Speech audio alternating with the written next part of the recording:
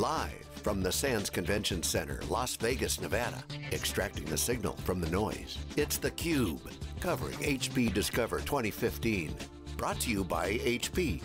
And now your hosts, Dave Vellante and Jeff Frick.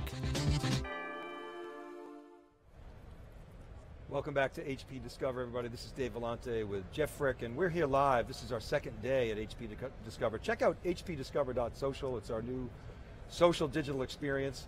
Alain Andreoli is here. He's the Senior Vice President and General Manager of HP's server organization. Great to see you again, Alain. Thanks for coming Great on. to see you, Dave. Hello, Jeff. How are you today? You. Terrific. So, things are good in Serverland. Um, um, unbelievable uh, snapback in uh, the ISS business. Uh, you guys got a good spring in your step. And um, so, how do you feel? Transformation of HP, HP Enterprise, Hewlett Packard Enterprise, things are good. Yeah, we should not rest on our on our laurels. The the servers business has been doing uh, well for the last few quarters, in particular the last three quarters. Uh, we had 17% growth in local currency last quarter, 11% in, in, in, dollars. So we've been doing very well, and we are very very uh, happy to be one of the key components of the of the turnaround of uh, of HP as a whole and HP uh, Enterprise now moving forward. Yeah, that's your wheelhouse, obviously. So what, to what do you attribute that, that sort of snapback? I mean, you got Gen 9 product cycle, you got Windows Server refresh cycle. Are those big factors? We've got Gen 9. So Gen 9, we are we are we are the more advanced in the in the shift generation to generation from Gen 8 to Gen 9. We passed the 50% line several weeks ago. Uh, the industry is not yet at 50%, so we, we know from various sources that we are we are ahead. Our engineering team has done an exceptional uh, job for, for Gen 9.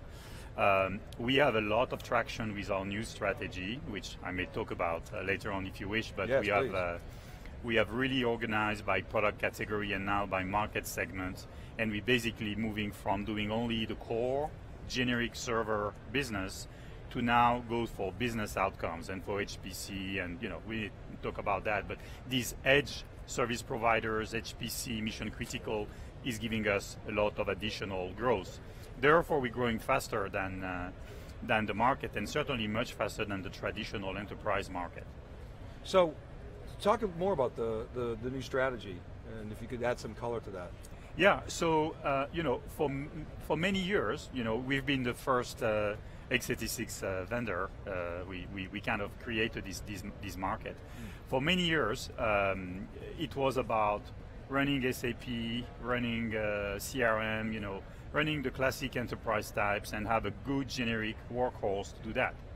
So we generated the, you know, the ProLiant server line, which is, you know, best quality, resiliency, performance, and so on. But what we've seen over time is that the market is going through a revolution with mobile, creating big data, creating the cloud, creating security concern, and many companies are reinventing themselves.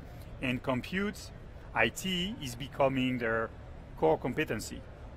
And it means that one size doesn't fit all. We had to invent new server uh, optimized for workloads. And so our strategy is to go for all these adjacent markets and segment the market accordingly.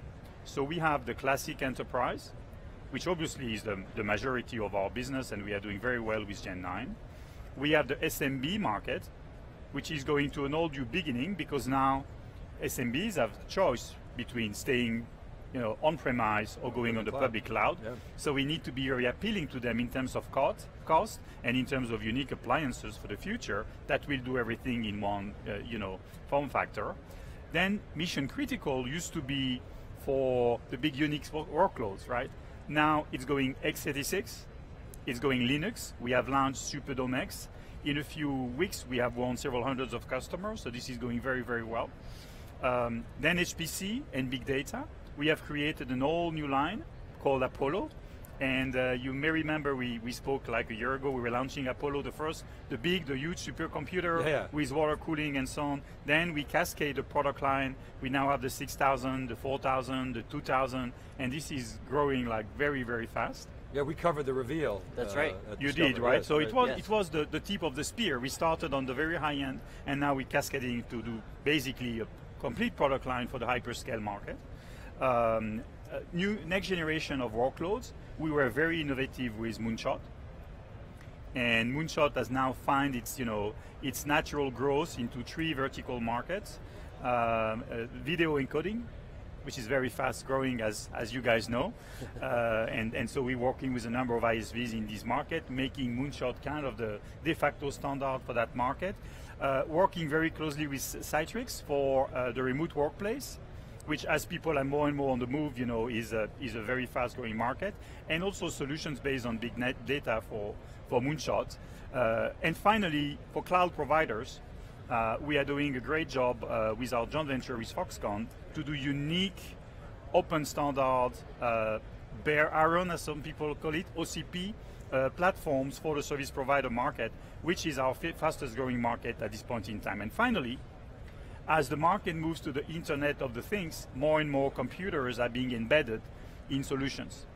Solutions for medical, solutions for telcos, solutions for uh, transportation, solutions for the industry, and our OEM business, which is us offering platforms for the OEMs to integrate the complete systems, is becoming more and more prevalent, and we're investing a lot in that. That's our strategy. Yeah, so really dramatically changing the way that you think about R&D, segmentation. you segment the market, how you uh, optimize products for those different markets? Each segment is learned is led by a GM. The GM has got he or she has got uh, her own R&D, her own marketing, the target set of customers and workloads, uh, and owns the P&L, and therefore has the full, uh, you know, uh, the full the full drive of this this very. And this allows us to be have the broadest product line on the market but at the same time to come as one face to a segment of customers because we have positioned our products specially for them, for their business needs and for their business outcomes. It's interesting hearing you talk about Moonshot. We covered the Moonshot, the original Moonshot announcement too. It was you know way ahead of its time, and we said at the time, perfect uh, system for Hadoop being able to scale compute independent of, of storage, for example, and that's got to be a, a, great use case for. Yeah, for and so we, we have fantastic solutions for Hadoop, yeah. uh, Moonshot on the front end, and we can have a product called the uh, Apollo 4000 in the yeah. in the back end. But we are now developing server-based storage very broadly in partnership with HP Storage. So we have. Uh, some uh, ISVs like CleverSafe and Scality with whom we work very closely uh, and we kind of jointly go into market. And now we're developing a broad portfolio of server-based storage, uh, which allows to run Hadoop and you know applications that come on top of Hadoop very efficiently. It's one of our fastest growing segments. Yeah, and, and uh, it's interesting. We had talked about this last time. The conventional wisdom was that the hyperscale market was going to go to the ODMs, and and HP said no. we're going to fight for that business. So I wonder if you could talk about that a little bit. You you mentioned hyperscale, you're selling to service providers. That's a I growth mean, area for you. How could we have 17% growth if we were not, uh, you know, ODM ourselves, right? So we yeah, have right. we have we have watched the, the, the, market where the market is going, and and you know do our very best to morph ourselves into an ODM when the customers want absolute commoditization. Yes. And when the customers value performance, uh, differentiation, uh, then we've built the Apollo product line, which basically uh, has a different uh, performance level than what anybody else can do because it's purely designed for performance. And you've got a relationship with Foxconn, right? for the Cloudline, yeah. uh, which is the service provider ODM-like offering. And this business has been growing very fast since we last uh, we last talked. And we launched at the OCP summit in San Jose uh, in March our catalog product line, Cloudline catalog, which uh, is now, uh, you know, starting to, to grow very well, very nicely. So OCP is interesting. were you at OCP? Yeah, we were there. Yeah, we did you there. see us on stage with the baby? Fu, uh, I did not. Fu Ming and I giving birth to a new baby. I did not see the baby. We were doing cube interviews, so we didn't make it over to the uh, the stage. But it's an interesting paradigm. Well, so any you know the whole concept. I, I didn't make it this year. I was there last year, but the whole concept of open platforms like that. Obviously, HP embraces openness. Where do you see that whole OCP trend going? So it's a segment. There is there is a there is a segment of the market where it belongs. That's how we are looking at it, which are service providers. So we design this architecture for together with Foxconn and you know with feedback from customers for service providers. That's number one. Then there are adjacencies, which are some enterprise customers, which we call enterprise service providers, who have a big cloud in-house and look at this type of architecture to port in their own data center. This is the case in the telco segment, in the financial services segment, for instance, in the retail segment, where there are some customers looking at the portability of such architectures in their own data center. And we are supporting this uh, as well. We are supporting this totally open architecture. We're also supporting Microsoft WCS. Uh, but customers should not be confused with what we do on the ProLiant side. It's not for everybody. It's a different type of um, different type of business model, and we are supporting both. But customers should not be confused about using a pure enterprise uh, architecture such as ProLiant, Apollo, uh, Towers, Blades, and using Cloudline, which is really an ODM play. So you are more on your own. You have some cost benefits, uh, but you, you, you, you've got to do, go the extra mile for the manage, manage, manageability of this architecture. And it sounds like your R&D focus has really been sharpened over the last couple of years. And I've always I've said for years, HP's got to get back to its roots and invent. It sounds like you're doing that in your group. We're doing, we're doing a lot of innovation where customers want innovation and differentiation.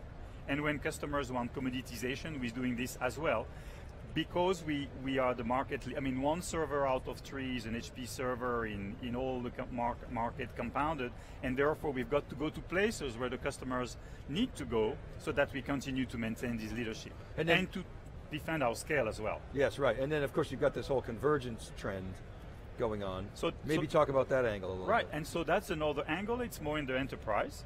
And so, uh, you know, customers have got the option of uh, being the assembler of uh, the best of breed, which may come from HP or others, depending on you know whether this is compute or storage or networking and so on. Or they may have the capability of using something that has been pre-configured, composed basically from from from an architecture that is that is modular, and uh, that's what we are doing in the Converge System Group.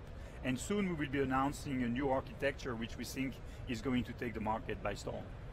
Excellent. I'm, I'm, sorry, we're getting the high sign. I don't know if you, you have to go, getting ready for the keynotes, I guess. And uh, in case you forget me until last time, I am from HP, and my name is Alain. oh, there we, we had some fun in our, in our keynote That's today. great. We each had a letter behind us, and so I have a C, the first letter for compute, and we had the six other GMs presenting with compute in the back. That's terrific. Having some fun here. Thank you. Discover. Thank you. Alain, thanks very much for coming on theCUBE. It was great to see you again, and congratulations on the recent success and, uh, and, and good continued head tailwinds we wish you. So thank you. Thank you. All right, keep it right there, everybody. We'll be back with our next guest right after this word.